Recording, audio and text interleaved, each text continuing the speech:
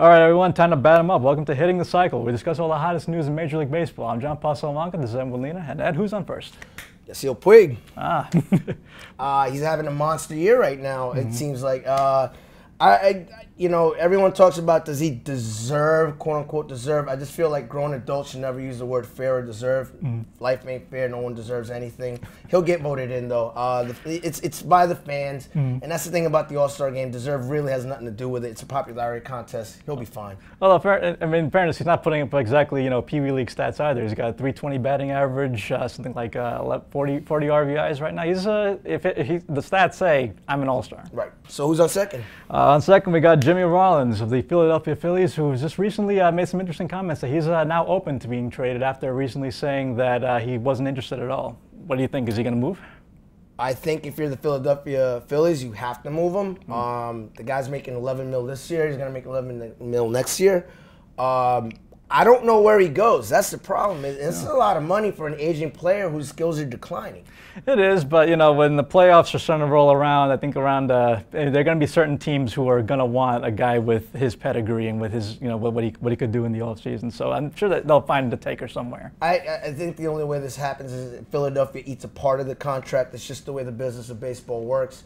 Especially, I think that opens up more teams, more avenues. Maybe some of the smaller market teams that are looking to compete. So. All right, so now who's on third? Kansas City Royals, oh. who have the most awesome stadium that no one ever talks about with the fountain in the back. I think that's cool. Uh, they um, a, they're a pretty awesome win streak now, seven games. Seven uh, games in a row. And the thing is, it's I, I, last year they were on the cusp of making the playoffs. It was just a tight um, AL Central. Mm-hmm. Um, you had a lot of teams jostling for position for that last wild card spot. I thought that they would drop off, and here they are again on a seven-game winning streak not showing a drop off. Might have to watch out for him in yet another AL Central race that's pretty tight. Right. So who's on home? Well, we got my uh, beloved New York Yankees, who. Uh, sorry, uh, Ed's from Queens here, so. Uh, Brooklyn, uh, you, they're on a recently on a four-game win streak. They were showing some momentum before a weekend loss. So um, now here's the question: With uh, they now that they've been building a little bit of momentum, though, do they make a trade before the deadline? Um, I mean, they print money; they can afford it. Uh, it's not a problem. I, I where the holes. It's, it's, and that's the thing. It's they have the ability to fill in holes mm to make that playoff run. I think that right now, if you're in the Yankees, you got to start with starting pitching. I would be knocking on Chicago Cubs' door and trying to get that Jeff Samardzija guy. I mean, uh, yeah, as, as, far as starting pitchers go, he, he's the, the rumors have been there.